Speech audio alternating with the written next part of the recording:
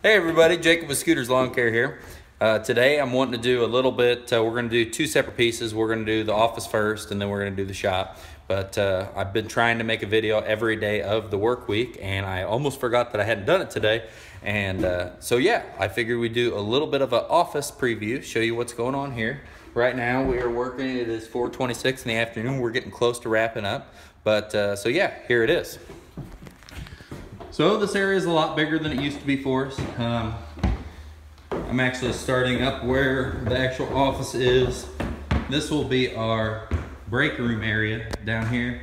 Um, the guys will be able, we've got coffee every morning for the guys here. Um, I bought this originally earlier this year so we could have some frozen stuff in there, you know, especially when it's hot outside. We've got our, our little fridge. We really need to update it. It freezes everything we put in it.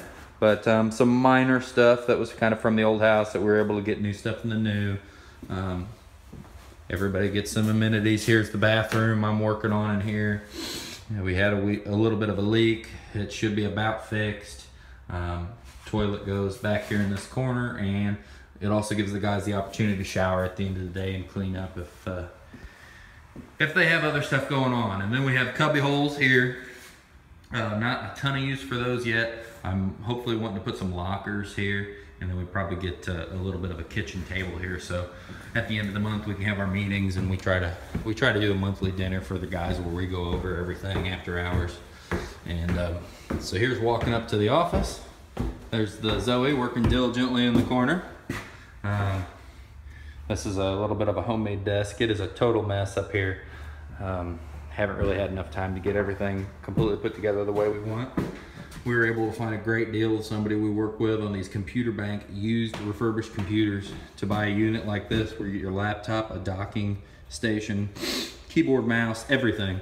So this pops up, you can run with your laptop or you can dock it and you can dual screen and get all your stuff done. That uh, through them, I think if you buy one, it was 375. If you buy two, it was 320 a piece.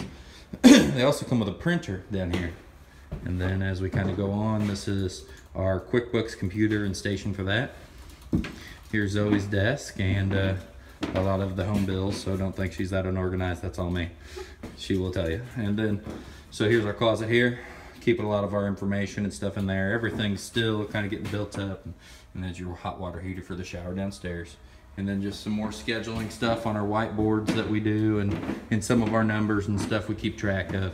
And then we also have um, some other different little things that uh, help us keep track of all the different little things that come into the shop, whether it be checks here or whether it be receipts there and then some different things to sort out the rest. But yeah, so that's a little bit of a tour right now of the start of our our office.